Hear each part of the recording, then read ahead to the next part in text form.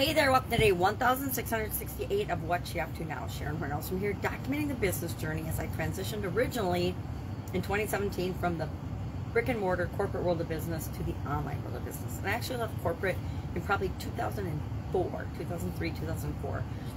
And just worked on the businesses that I had been running on the side while I worked simultaneously in corporate America for over a quarter century.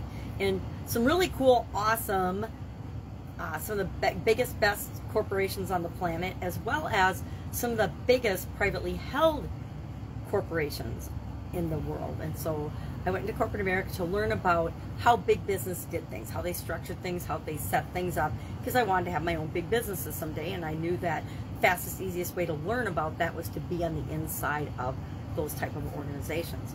So today our topics for Supersize Your Business was we're doing confidence the month of August to coincide with the Be You 365 day challenge to do one thing every day that improves us. And so we're focusing on confidence for the month of August. And today our topic was to pride yourself on something. And our idiom was to pride yourself on something for supersize your business. So I shared 25, 26 reasons to be proud of yourself and with respect to business in that particular group because we want to share something that we're really really proud about that we're creating in the world and that we're doing with our business and growing our business. Maybe it's for supporting our family, our business is paying the bills. Each of our businesses are in different stages of growth and development. Uh, but we start a business because we want to pay the bills, we want to take care of our family and loved ones and ourselves. And then usually as it grows, our desires and our wants grow from there. And I work with people that want to make the world a better place. I want to make the world a better place. So that was our topic today. And a lot of different things that we know that we should be proud of and we talked about that. Our topic for the annual challenge today, day 230 already, was positive change. Now, change comes along all the time, but we want to find a way to make those changes positive and have a positive influence on our life. So I shared three cards. I'm willing to change.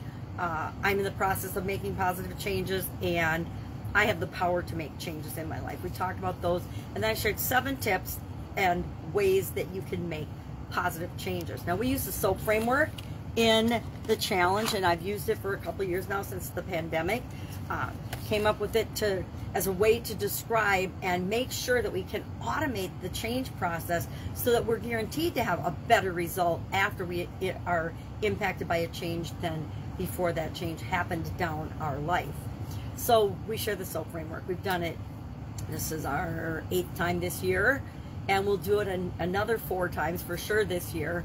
Uh, we did it uh, about every other month in 2020 and 2021. We did a 30 plus day challenge called the Get Up and Go Challenge, and that helped me and a lot of other people to make positive progress and positive change during the pandemic, which most people, if you ask them how the pandemic was for them, they don't have a whole lot of good or positive things to say about it. And so we wanted to make sure that we were pulling the positive out of that experience because there are a lot of good things came out of the pandemic. Not the way it was handled, not the way the media covered it, not the way uh, it impacted people's lives, not the mandates and the shutdowns, but there were a lot of positive things that came out of the pandemic in terms of I one of the things I noticed right away was when you drove around, people's yards and properties have never looked better. People finally had the time to spend on beautifying and cleaning and organizing and, and sorting things out in their house that they've never had the opportunity to do that before. All right, so those are the things we covered today. I am continuing to help my mom move. She's actually out of town for a few days with her sisters at one of their cabins, which I think is awesome when the, the sisters can get together because they are, I'm trying to think if they're all in their 80s yet, but I think not yet. Um, they're in their 70s and 80s, so it's awesome when they can get together. One from uh, Florida didn't make it up, but the other four are together. So that makes my heart happy. And it also gives me a break to focus and work on the things I'm doing with my house, my business, my family, uh, while she's away for a few days.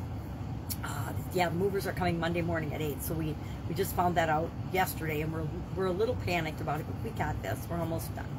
Uh, if I can help you in any way, hit me up and ask. Otherwise, I'll be with you tomorrow. Think about things you're proud of. Think about your level of confidence and, and we're sharing and we're working on an area and I shared seven tips of how to be more confident and make positive change and how an area that you'd like to change your level of confidence in. Got any questions about any of that? Hit me up. Otherwise, I will be with you tomorrow. Have an absolutely fantastic day.